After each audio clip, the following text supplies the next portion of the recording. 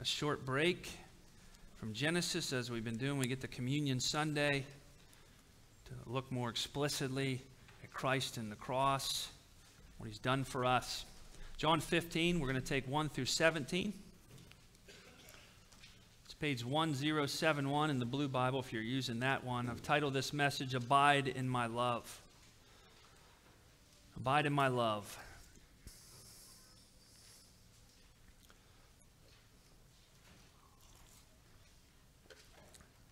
Specifically, we're going to zero in on verse 9, but I'm going to read the whole 1 through 17 for context here. People of God, hear the holy, inspired, inerrant, infallible, authoritative word of God. I am the true vine, and my Father is the vine dresser. Every branch in me that does not bear fruit, he takes away. And every branch that does bear fruit, he prunes, that it may bear more fruit. Already you are clean because of the word that I've spoken to you. Abide in me, and I in you. As the branch cannot bear fruit by itself unless it abides in the vine, neither can you unless you abide in me. I am the vine, you are the branches. Whoever abides in me, and I in him, he it is that bears much fruit. For apart from me, you can do nothing. If anyone does not abide in me, he is thrown away like a branch that withers, and the branches are gathered, thrown into the fire, and burned.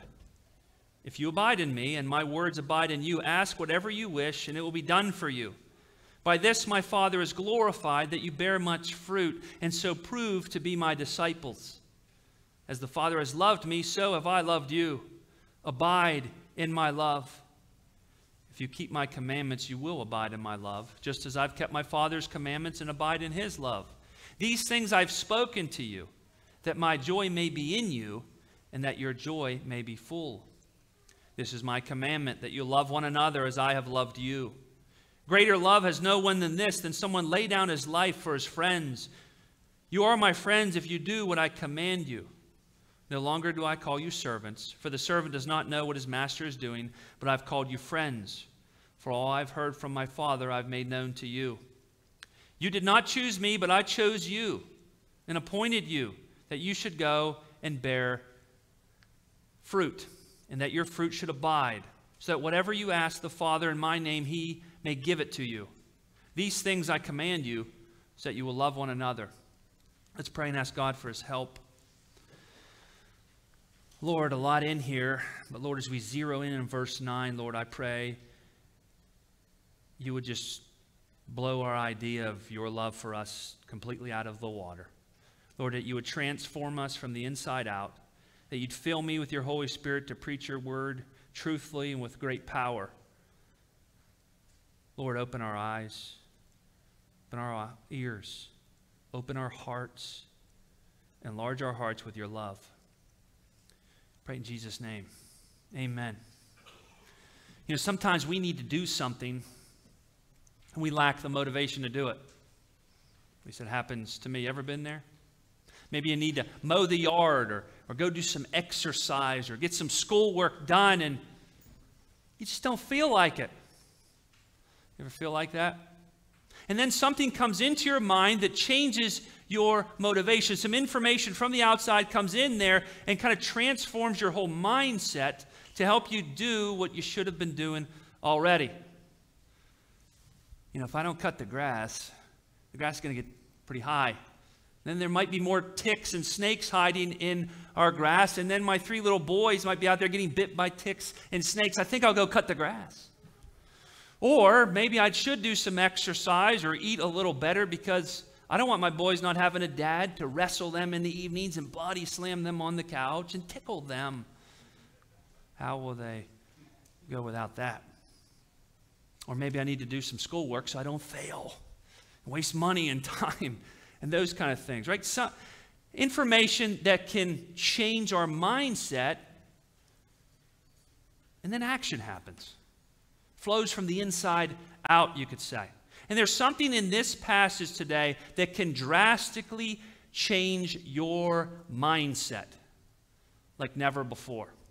I mean, the passage talks about keeping God's commandments and, and bearing much fruit. It talks about all of that, but let's be honest, sometimes that's hard to do with all the distractions of this world around us, all the things that get in the way of that. plus some things that God tells us to do, they're pretty hard. And sometimes we just don't feel like it. You ever feel like that before? You ever been there?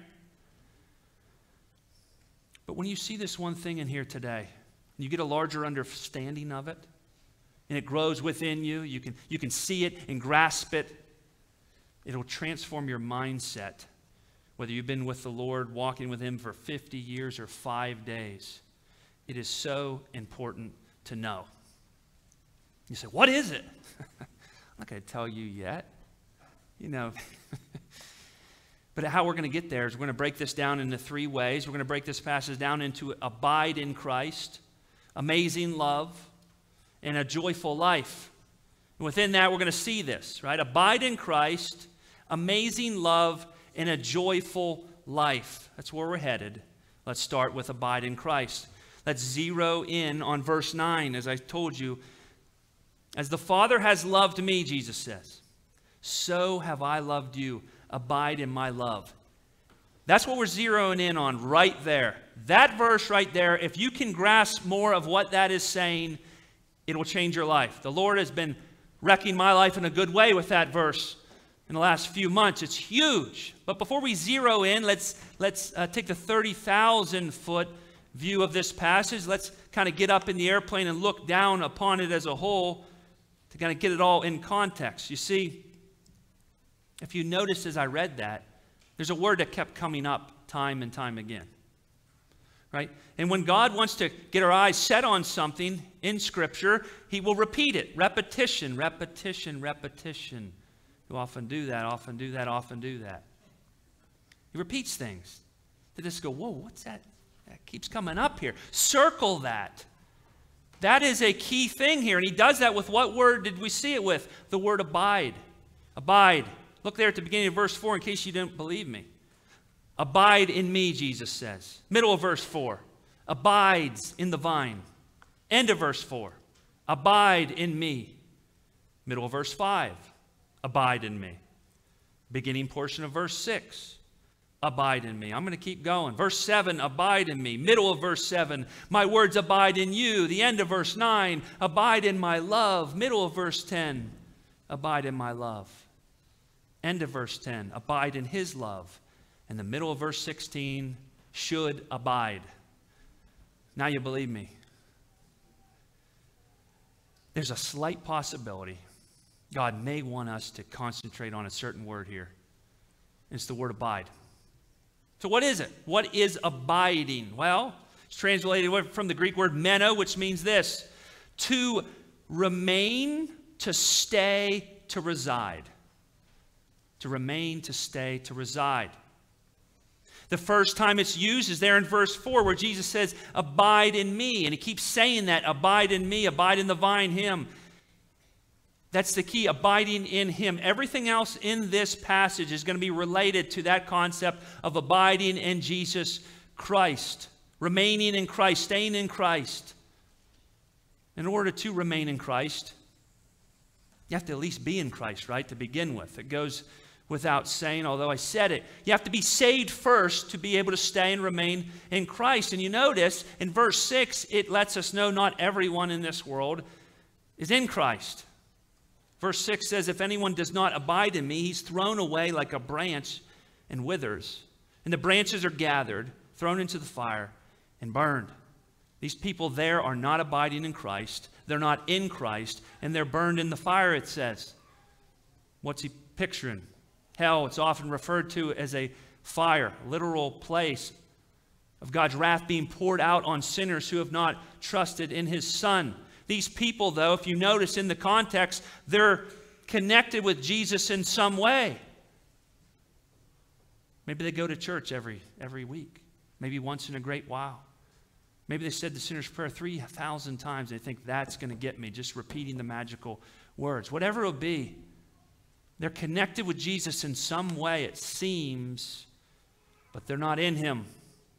They don't know him. Now, some may think this is someone that loses their salvation. I don't think it's the case because you have to deal with texts like John 10 28, which Jesus says of Christians this I give them eternal life, okay, they become Christians, and they will never perish, and no one will snatch them out of my hand. John 6 39. And this is the will of him who sent me, that I lose nothing of all that he has given me, but I raise it up on the last day. Romans 8, what shall separate us from the love of God? Nothing, not even you. Romans 8 28, precious promise, probably we all love. And we know that for those who love God, who are called according to his purpose, all things work together for their good. You losing your salvation is not going to work for your good. And there's many more. But as Jesus says in Matthew 7, not everyone who says they know him actually do. That's a scary thing, isn't it? Not everyone who says, I'm abiding in Christ, I love Christ, I've given my heart to Christ, I've given my life to Christ, whatever it may be, I'm in Christ. Not all of them are actually in Jesus Christ. And if you right now are saying, well, what if that's me? I always point people to 1 John in those cases. The book of 1 John, John tells us what that's about. When 1 John 5:13 he says this, I write these things to you, the book of 1 John, who believe in the name of the Son of God, that you may know that you have eternal life. It's a help for those who profess to know Jesus Christ to gain more of assurance of that as you go through that, or to hopefully point out if you don't know him that you don't know him. So you can thrust yourself upon the mercies of Christ now before it's too late. Some will say, no, I wouldn't worry about all that. Paul would differ. 2 Corinthians 13, 5, he says, he's saying to Christians who say they're Christians, examine yourselves to see whether you are in the faith. Okay? Test yourselves. Or do you not realize this about yourselves that Jesus Christ is in you, unless indeed you fail to meet the test? He's talking to Christians saying, listen, examine yourselves. Not everyone who says they're a Christian actually has been born again is saved. But if you are in Christ, which many of you are in here today, praise God.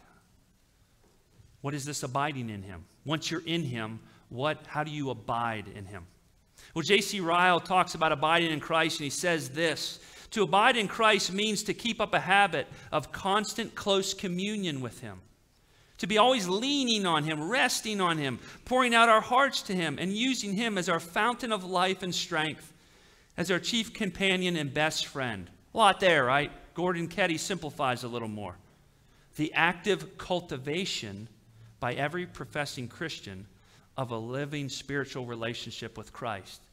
Again, I'm a simple man. I'll simplify it even more. It's working on your relationship with Jesus Christ. It's abiding in Him walking with Him closer each and every day, seeking Him more in everything in your life, loving Him more. That, that, cultivation of a relationship. What's a farmer do when he cultivates a field? He puts attention to it, he works it, he puts some sweat equity into not earning salvation, but when you have it, working on your relationship with the Lord Jesus Christ. Cultivating it, abiding in Him. Paul thought that was a pretty important thing to do. Philippians 1:21 he says this, "For to me to live is Christ, to die is gain." Paul said, "Everything in my life is based on Jesus Christ. He's everything to me. Everything I do loving others, everything I do out there, here, it's all because of Christ. And if I die, it's only gain because then I get to see him in all his glory. I know him now, but boy, I really know him then. See him then. Galatians 2:20 says, Paul says, I've been crucified with Christ. It's no longer I who live, but Christ who lives in me. And the life I now live in the flesh, I live by faith in the Son of God, who loved me and gave himself for me. He wanted all his life to be about Christ, cultivating that relationship with Jesus Christ as he served him out there in the world. How about us? Is Jesus Christ number one in our lives? Are we consumed with growing closer to Him? If someone were to follow me and you around for a year and just watch us all, would at the end of that year they say, you know what, if I had to sum up Ryan in a sentence or in a word, it would be Christ. His whole life is consumed with growing and abiding in Jesus Christ. It often about other things in my life, in your life? I think if we're honest, it's often about other things. We love Jesus, sure. And sometimes we're in a real good place where we're growing closer to Him and we're on cloud nine, so to speak, in our relationship with Him. But often, if we're honest, that's short lived. And then we get distracted as the world, the flesh, and the devil draw us away. And we start focusing our attention on this and that and getting our delight not in Him, but in the things around us. It's a battle. Abiding in Christ is not easy. So, how do we abide in Christ more? How do we get a mindset of growing closer to Him, a motivation to, to cultivate that relationship, right? A zeal. How do we get it to come from the inside that flows out into that? Some will say you got to keep His commandments, and that'll do it. You got to follow what he says, and just doing that, then it'll magically happen. Others say, You're a sinner, don't even worry about it. You can't do diddly. I think God says something else here in this text through the rest of the scriptures. He says, Look at my amazing love. Look at my amazing love. Zero back in on verse 9 with me. As the Father has loved me, so have I loved you. Abide in my love. You want to cultivate a relationship with Jesus Christ? You want to grow closer to Him? It's right there. You zero in on that text. You have to focus on His love for you. You say, Yeah, I know God loves me. No, you don't. You don't know how much. I don't know how much. You see, ever since God saved me back in 2010, if you had said, Ryan, does God love you? I'd say, Yeah, sure, He does. Yeah, more than words could express. I've said it from the pulpit many times. He loves us more than words could express, and that is true. But I have had no clue, and still to this day cannot grasp how much He loves me and all those of you who are in Christ. Just a few minutes or a few months ago, as I'm laid up with my broken leg, and I'm reading through Andrew Murray's book on abiding in Christ, is the title of it. He gets to John 15 9, and he unpacks it, and it blew me away. I'd read that verse for years, many times over, and it was like I had never read it in my life. I say, How have I been passing over this treasure? How have I been passing over this inexhaustible verse with really not thinking too much about it? Yeah, he loves me. Because it's not just that Jesus loves you, it's that he loves you with the love the Father has loved him. That's huge. Because Jesus could have said, You know what? I love you guys. That would be amazing. We deserve hell. We don't deserve his love. He's high and lifted up, and all glory deserves to be just given to him. For him to say, I love you, would be like, Yes, it's great. Or if he said, I really, really, really, really love you, it'd be like, That's really, really, really great. But he doesn't say that, does he? He doesn't say either of those things. He says, What? As the Father has loved me, so I have loved you. So, how has God the Father loved his own Son? Words in this sermon could not adequately describe that. Or if I just sat with you the rest of your life and tried to explain it, would not adequately describe that. And we will never fully grasp all of it for the rest of eternity. It is so great. God the Father has loved God the Son with the greatest love possible. A love that existed before the world began, in eternity past, without beginning, without end, without measure. And guess what? It'll never change either. It will never change. And it's with that love that He loves you and me, that God loves us. Paul tries to explain the magnitude of this love in Ephesians 3. 18 through 19, he tells the Ephesian Christians, he says this, that he's praying that they, quote, may have the strength to comprehend with all the saints what is the breadth and length and height and depth, and to know the love of Christ which surpasses knowledge, that you may be filled with all the fullness of God. The love of God for his people.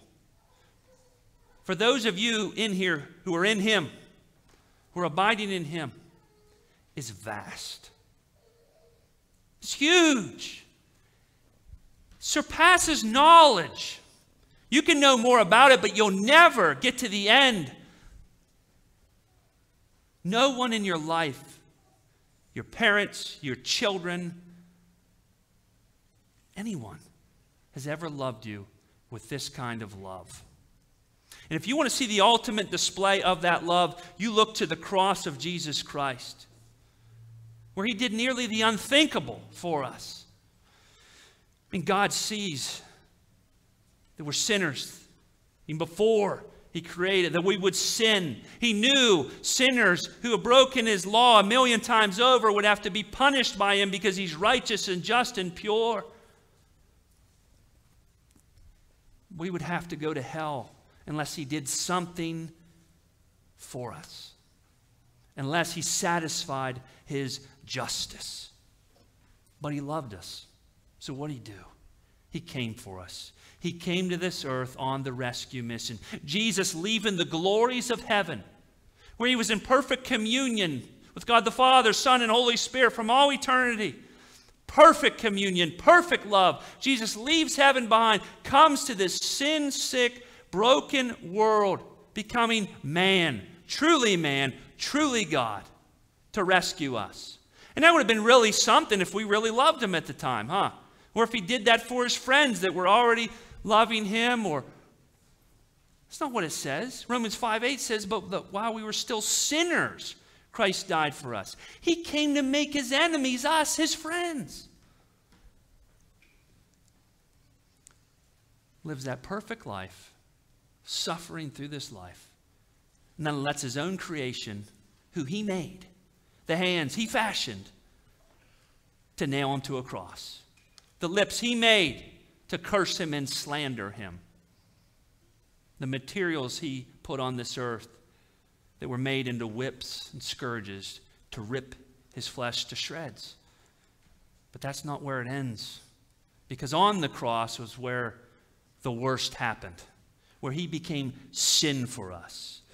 2 Corinthians 5:21 says, "For our sake he that is God the Father made him that is God the Son to be sin for us who knew no sin. He knew none. So that in him, that's in Jesus, we might become the righteousness of God. In him. On the cross, he becomes sin. He bears all our sin upon himself. God pours out his wrath instead of us in hell. He pours it out on Jesus who never sinned. That sacrifice where he take, took all our sin and paid for it in full. It is finished. He was forsaken by God the Father so you and I never would have to be. The unthinkable, nearly. And he did that for us. You want to see God's love? the ultimate display of it, you look at the cross. Sure, His love is written all over our lives in a million and one graces. But you want to see it in the ultimate display, you look to Calvary. And He did it because He loves us. And it's that Jesus Christ who did that for you and me, who says to you and me, Abide in me. Abide in my love. I, have done that for you. I love you with, with a love like the Father loves me that cannot be comprehended. Abide in me, abide in my love. Seeing that should drive us, should drive us to want to abide in Him more. Seeing that, shouldn't it drive us to want to grow closer to Him? To not be so distracted by trinkets and toys and all this stuff that is not bad in and of itself, but it often drives us away from Him. Why wouldn't you want to spend time with Him who's not only perfect in every way, but who loves us sinners with that kind of love? I surmise to you the reason we don't want to often cultivate our relationship with Jesus or, or, or, really pay attention to that is because we have not grasped John 15 9 in his love like we should. We just haven't grasped it like we should. Because when you grasp his love like this more and more and more, it will create joy in you.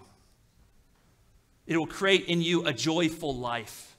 A joyful life because guess what?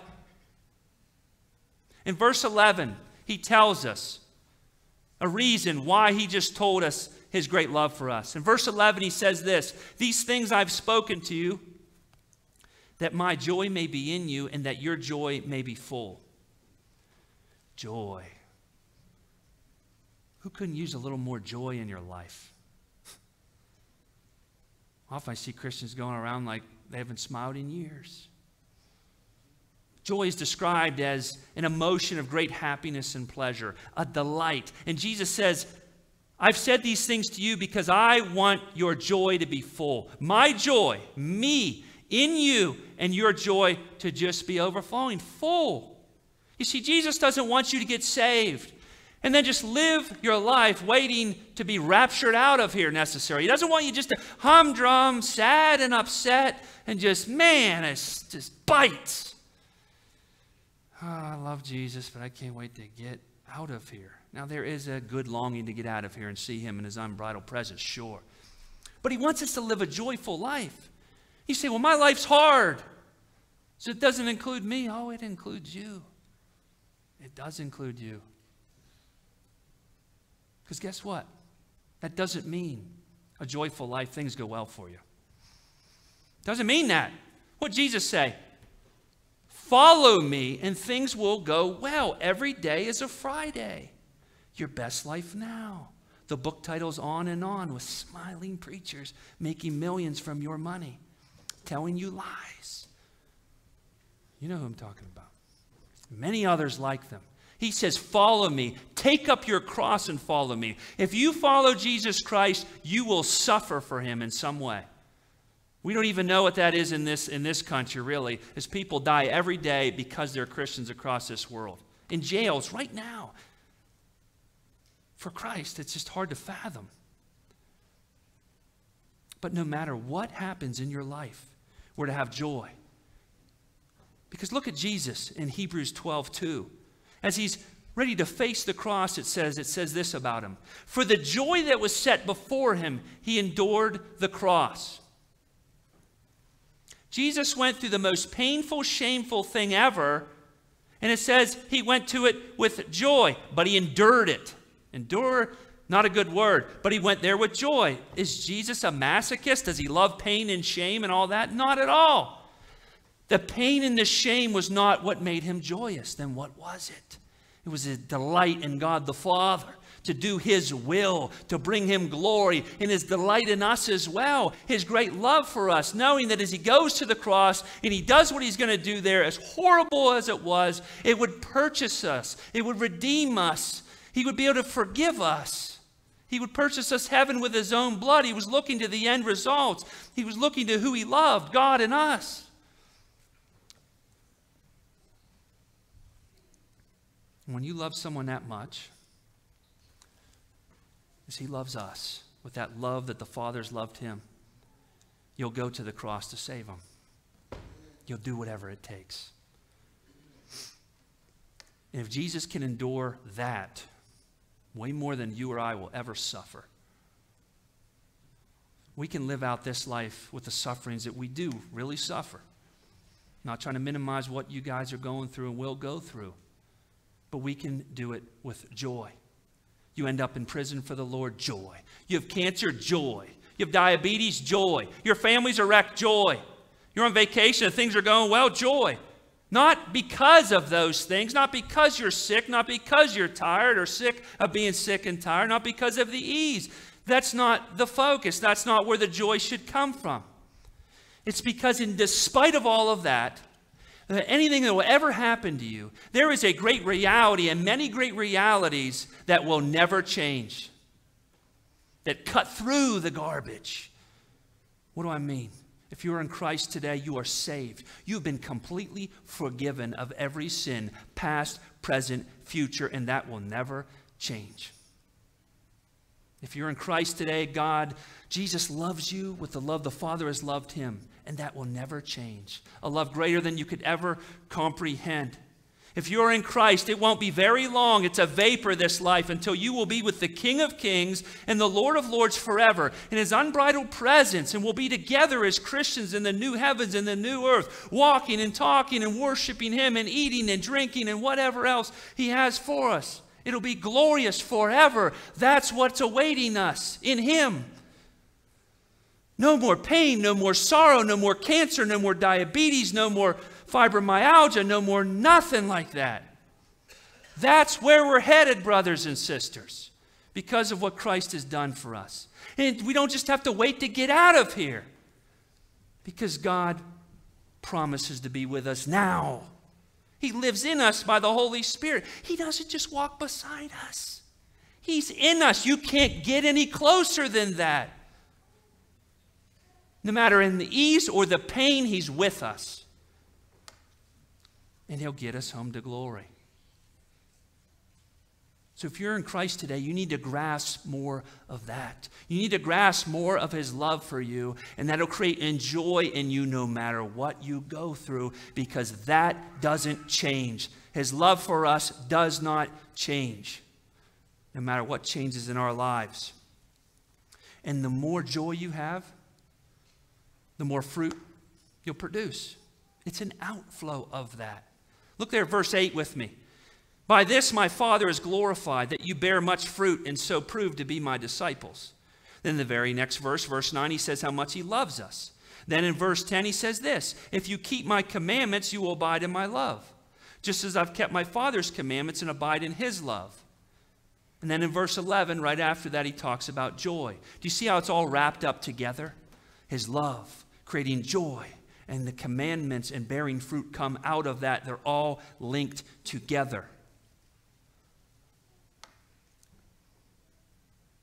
becoming a Christian shouldn't be a killjoy. It's a joy magnifier, it's a joy increaser. It should elevate joy in our lives more and more and more as we grow closer and closer to Him, as we cultivate that relationship of abiding in Him. Our joy should keep going up and up and up and through the roof. As we think of things, Lord, you love me. I deserve hell and you love me. I should be loveless and you love me. You did that for me. You purchased me at the cost of your own son, of his blood and his life. Me? What do you want me to do, Lord? Okay, make disciples of all nations. That's uncomfortable, but Lord, you love me. I love you now. Help me do it. Pray for my enemies. I hate them. Help me love them, Lord. Help me pray for them. Forgive people my family have wronged me throughout my life. Lord, I didn't want to do it, but you love me. I want to do it now. I want to do what you want me to do because I love you. It changes you from the inside out and then flows out service to Him. But people can get it backwards. Listen to what John says in 1 John 5 3 speaking this very thing. For this is the love of God, that we keep his commandments. And his commandments are not burdensome.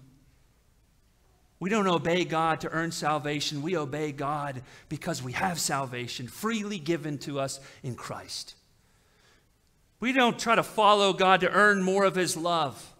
We follow him because he has loved us with a love already freely given to us in Christ that we could never fully comprehend. We serve God not to get stuff from Him, but because He's given us everything in Christ. We have an inheritance waiting for us in heaven, which will just dwarf the biggest billionaire on this earth. They have nothing when you have Christ. He loves us. Understanding how much He loves us. That's why John 15 9 is so important will increase your joy, and out of that will just flow fruit. Not perfect, you're still a sinner, but will flow fruit. So I got to ask you, as you look at your life, as I look at my life, are we lacking in fruit for God? Are His commands burdensome to you? Go make disciples of all nations. Do you say, oh, I don't want to do that? I'd rather sit on the porch with my feet propped up. I'd rather talk about the Steelers game and never get to the good stuff, Christ. I'd rather be liked and them go to hell than for me to ever be looked down upon. Been there, I've been there. When's the last time you witnessed to someone? When's the last time you told someone what Jesus Christ has done for sinners like you and me? When's the last time you loved the unlovable in your life? When's the last time you forgave the unforgivable? When's the last time you prayed for those you can't stand? When's the last time you gave money to someone or sacrificed your time for someone that wasn't just extra and no hurt, but cost you something to love them and love God? When's the last time you just spent time with the Lord? For an hour or so. Just basking in, in His presence. Just telling Him how great He is. Just listening to Him. Just spending time with Him. Cultivating that relationship with Him. If it's been a while, it's because you need to grasp more of His love for you. You need to grasp John 15, 9 more and other texts that talk about his great love for you. You're not looking at the cross enough, or as you do, you're just passing by it. You're not gazing into it and seeing what that really means for you. You don't understand, as I have not understand for a long time and still need to grow in knowing and appreciating and being thankful for how much he loves me. As Jesus said in John 15, 9, as the Father has loved me, so have I loved you. Abide, stay, remain, reside in my love. Concentrate on it. Let's pray. Lord God, we need your help for that. Lord, open up our hearts to understand more of your love for us. As we come to communion now, Lord, may your presence just fill our hearts, this place. As we go home, we long to commune with you, Lord. Put it on our minds and our hearts each and every day. Lord, draw us near to you. We're so weak. I pray in Jesus' name. Amen.